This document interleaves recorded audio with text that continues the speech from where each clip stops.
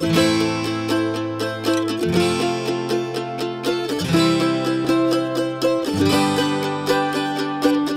har været fedt den måde, at man ligesom kunne få at komme i gang igen, og ligesom komme ud og møde andre, der også, øh, der også gør det samme. Øh, de giver noget.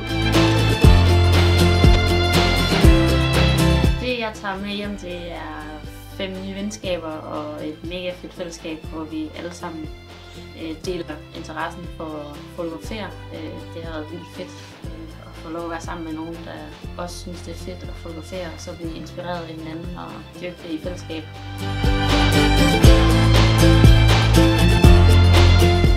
En af highlightsene her på turen, det var den gåtur, vi var på. Her vi har været over ved isbjerget, og så øhm, gik vi tilbage. Det synes jeg var helt fedt, fordi de lærte hinanden at kende, os unge fotografer, og øh, der var bare tid til, at vi kunne fordybe os øh, i den vej, vi gik. Og det var helt vildt hyggeligt, og jeg synes, det hjalp øh, rigtig meget på det sociale også. Øh, og så har vi fået god hjælp fra instruktørerne, der har været med til at give feedback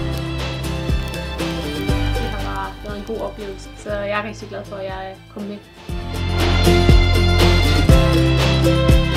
Det er fedt at være afsted.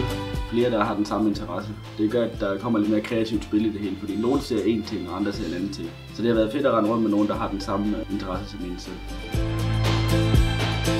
Det har været dejligt at være ude i naturen sammen med andre fotografer og lære noget nyt og få nye inputs.